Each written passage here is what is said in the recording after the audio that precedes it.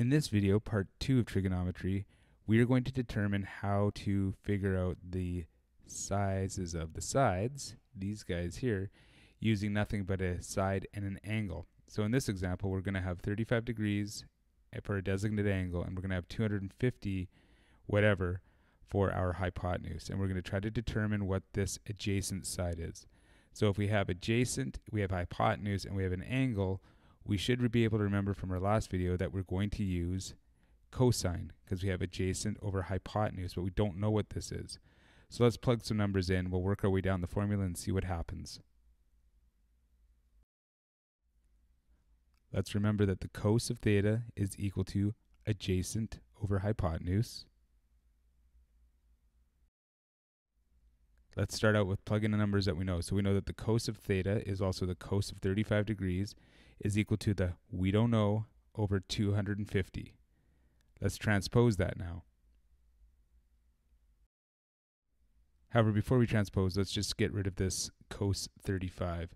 What we're going to do is just punch it in your calculator, and if you need to remember how to use the calculator, watch the last video. But instead of using our inverse cos, we're just going to go cos, hit the cos button, 35 degrees, and that gives us 0.819. 0.819 is equal to, we don't know, over 250. Now we can start the transposition.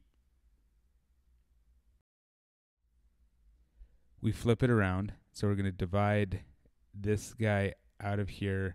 We're going to move this guy over to here. So we end up with the unknown is equal to 0.819 times 250 because all we have to do is cross multiply. And we're going to get an answer of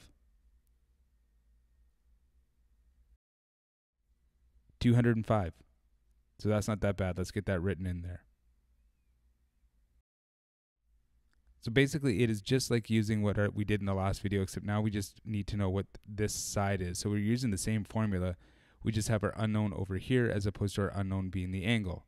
So that's using cos. So we're going to walk through all three as we did in the last one. So that's cos. For our next one, we're going to use,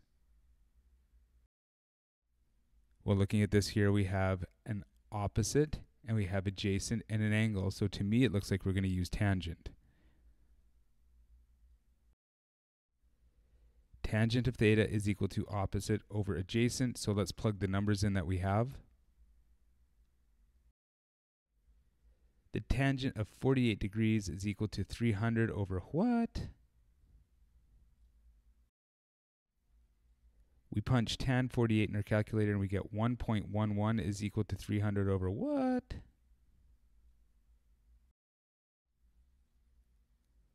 So we transpose that. Now we've got 1.11 times we don't know is equal to 300. So we have to make one more step in our transposition. Which tells us that our unknown factor here, or the what, is equal to 300 divided by 1.11, and we get our value of 270. So let's get that plugged in there. So there you have it. Again, just using tangent with what we know. Now it leaves us with one more. We've already done cosine and we've already done tangent. So let's mix it up a bit and we're going to finish strong with sine. Now you can tell we're going to use sine because we have an unknown here. We have our hypotenuse, so we have our opposite side, which is unknown, our hypotenuse, which is 750, and our angle, which is 67 degrees. So our sine is equal to opposite over hypotenuse,